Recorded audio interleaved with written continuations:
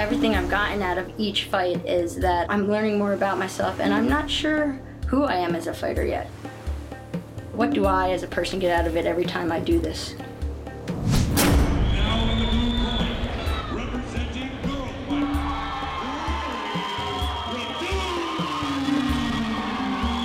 Radulo. With each fight, I've done something different. Physically, I know how to do it, and this trip towards this fight is me actually coming in touch with that mental aspect. I didn't plan on fighting when I came here. I just wanted to get back into shape after my son was born. As time went on, I, I guess I just wanted to get in the ring and, and fight. Stronger, faster, leaner. Let's go, Mendez. Let's go,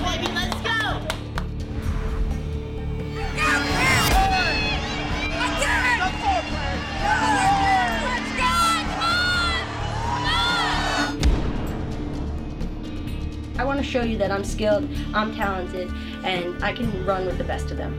I'm not just fighting for me or girl fight, but I'm fighting for everybody that's in the scene in New Jersey, and I want to represent us the right way. with Deanna, I think she's having some self-doubt.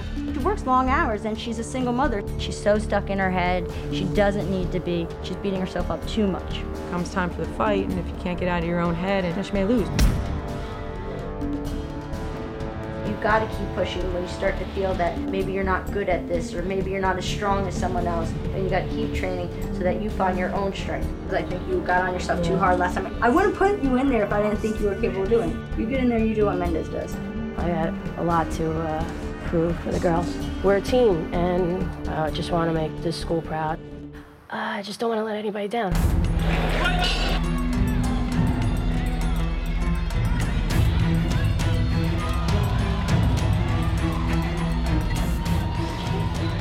Ladies and gentlemen, after three rounds of action in the featherweight division, we have a majority decision.